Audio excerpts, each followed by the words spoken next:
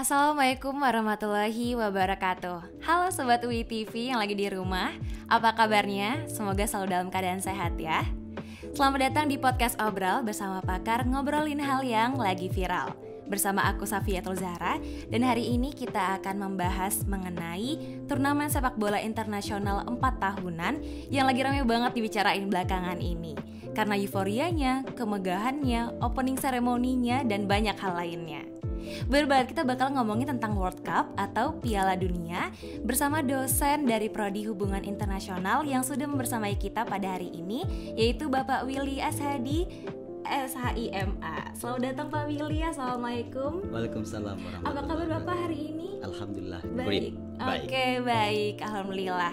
Oke, Bapak, ngomong-ngomong tentang Piala Dunia tahun ini itu tuan rumahnya adalah Qatar. Nah, aku kepo Bapak, apakah apa makna Piala Dunia bagi Qatar dan bagaimana sih citranya di dunia internasional? Oke, okay, baik. Ini pertanyaan yang sangat interesting ya. Uh, tentunya ketika uh, Piala Dunia ini yang mendapat bidding adalah Qatar, ini merupakan sebuah prestasi sekaligus menjadi alat diplomasi bagi Qatar.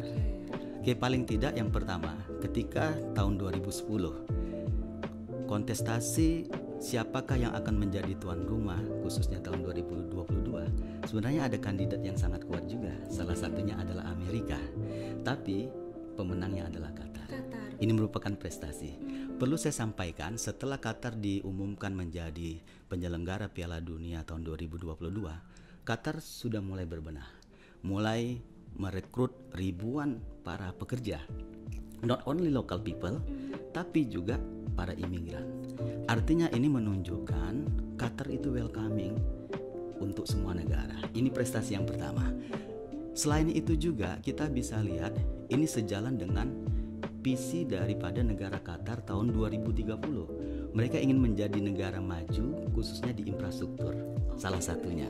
Dan yang menarik juga, kenapa Qatar memiliki apa memaknai sepak bola ataupun sebagai penyelenggara Piala Dunia tahun 2022 karena ini mereka banyak menorehkan new record. Di antaranya satu dari tahun 1930 sampai tahun 2022 satu-satunya negara yang diamanati menjadi penyelenggara Piala Dunia itu dari Timur Tengah hanya Qatar. Sekaligus automatically karena dia sebagai tuan rumah, mm -hmm. maka dia masuk bagian dari salah satu konsestan dalam Piala Dunia dan ini yang pertama kali. Nah, selain itu prestasi sekaligus rekor juga selama perhelatan Piala Dunia dilaksanakan di dunia yang setiap empat tahun itu, itu dilaksanakannya pasti waktunya summer. Tapi khusus di Qatar dilaksanakan pada musim dingin karena memang ini pertimbangan untuk kebaikan para official, para pemain karena kita ketahui bersama Timur yeah. Tengah cuacanya sangat, panas, panas ya ketika yeah. summer kurang lebih sampai 40 derajat Celcius bahkan lebih. Makanya dilaksanakan tidak seperti biasa. Termasuk juga salah satu yang membuat Qatar ini menjadi apa ya? Uh, menjadikan Piala Dunia pada momentum ini sebuah prestasi. Qatar kita ketahui bersama dia bisa menjalin diplomasi dengan negara-negara yang lain. Baik, Ini menarik. arti daripada kenapa Qatar apa menjadi Piala Dunia dan ini sangat berarti bagi mereka termasuk menjadi sebagai alat diplomasi. Hmm, baik, menarik banget. Dan aku juga kepo Pak katanya lagi ramai belakangan ini kalau tahun depan itu adalah resesi.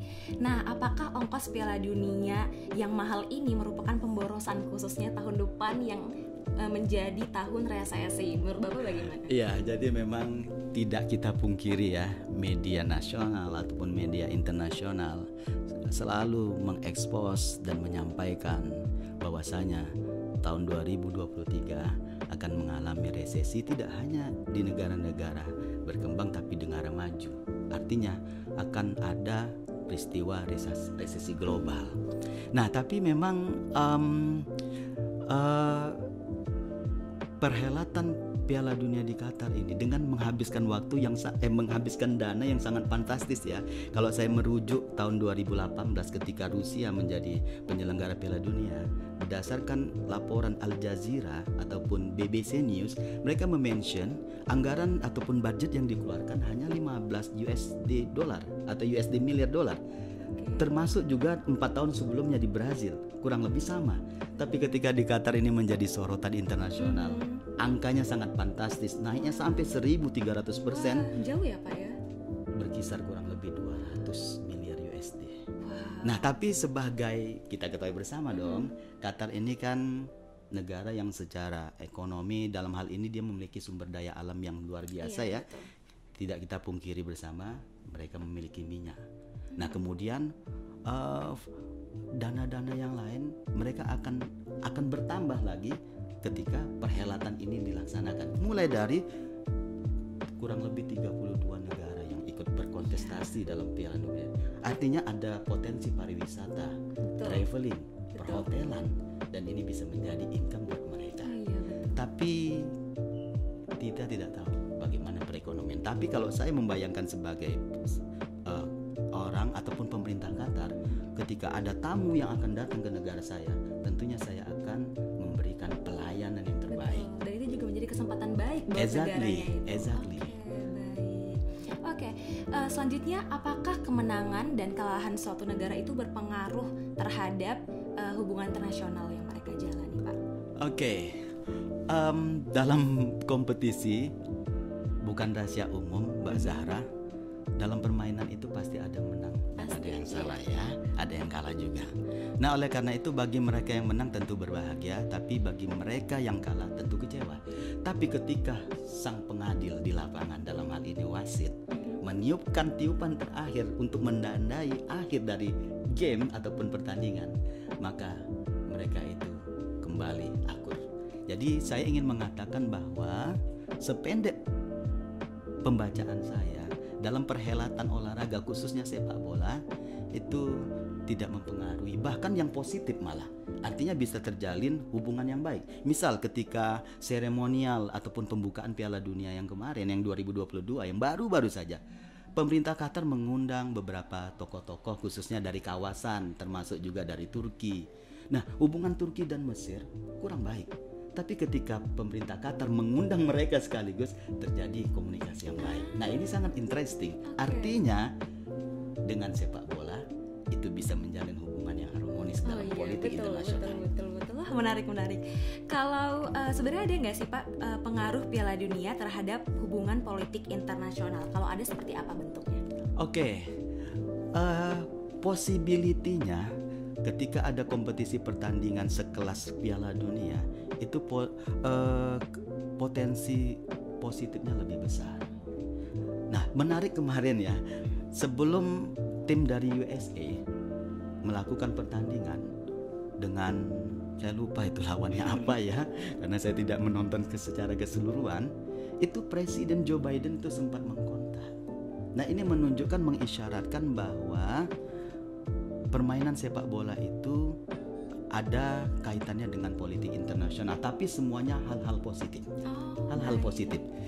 Kecuali barangkali salah satu kontestasinya misalnya yang saat ini kan kita ketahui bersama yang sedang bertikai antara Rusia dan Ukraina. Makanya saya tidak tahu apakah Rusia masuk salah satu konsestan dalam sepak bola di Piala Dunia kali ini. Tapi kalaupun ada, uh, tapi sepertinya tidak ada. Sependek sepengetahuan saya tidak ada, karena memang ini mungkin ada kaitannya sama politik juga baik.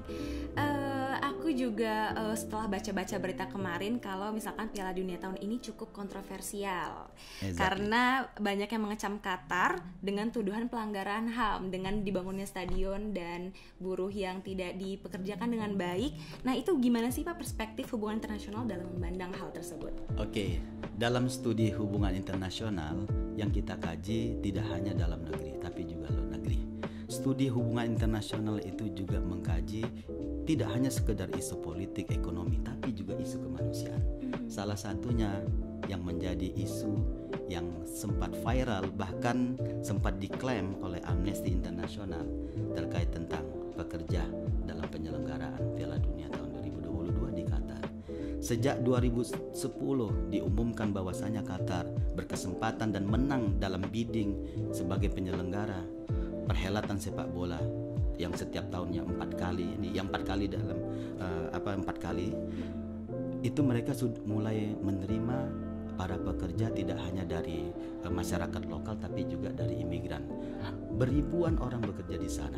Nah, namun beberapa organisasi, terutama organisasi Amnesty International, melaporkan ada tindakan yang mengarah kepada Qatar melakukan pelanggaran hak asasi manusia. Salah satunya adalah beberapa pekerja mereka diberikan gaji yang tidak selayaknya. Bahkan ada juga dilaporkan para pekerja tersebut ketika sudah bekerja mereka tidak menerima gaji sesuai dengan waktunya. Bahkan yang lebih ironi dan menyedihkan lagi, beberapa laporan menyebutkan bahwa pekerja tersebut diberikan tempat tinggal yang tidak selayaknya. Nah, sehingga ini menjadi perhatian dan isu dan konsen internasional untuk menginvestigasi. Hmm, Nah, baik. sebenarnya sudah ada dan dari pemerintah Qatar, Qatar sendiri sudah melakukan counter dan melakukan pembelaan apa yang ditudingkan kepada mereka sebenarnya tidak ada. Oh, Nah, tapi nah nanti kita akan lihat.